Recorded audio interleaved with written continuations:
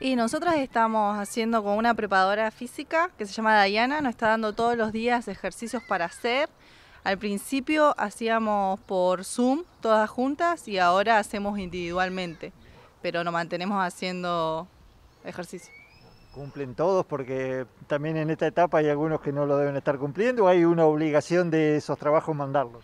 Y en realidad hay una obligación, pero cada uno tiene su tiempo, hay chicas que son más grandes y laburan no pararon, pero nada, se trata de que siempre se manda un video mostrando que estamos haciendo actividad física. Bueno, sobre todo una, una, actividad para ustedes que todavía la verdad no saben cuándo van a volver ni de qué manera, si podrá ser de forma recreativa, si juntarse a entrenar, jugar por el contacto que hay parece ser una de las últimas que va a volver, ¿no? Sí, eh, todavía no se sabe como todo, dicen que los clubes van a ser los últimos en abrir, así que nosotros nos tenemos que preparar para el torneo y bueno, tratar de seguir el ritmo siempre.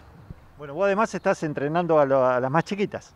Sí, estoy con todo el mini básquet, así que estamos con Chelo, eh, por suerte, tres veces a la semana damos clases por Zoom a todos, damos desafíos con los padres, así que tratamos de mantenernos también activos.